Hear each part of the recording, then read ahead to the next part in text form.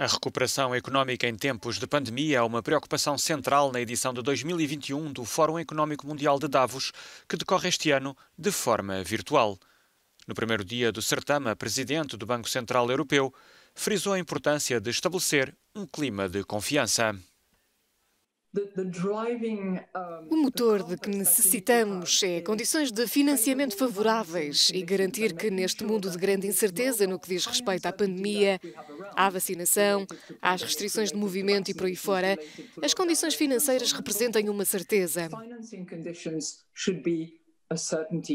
Os investidores, sejam eles consumidores, empresas ou Estados soberanos, devem poder confiar em que há financiamento disponível para o consumo e para o investimento.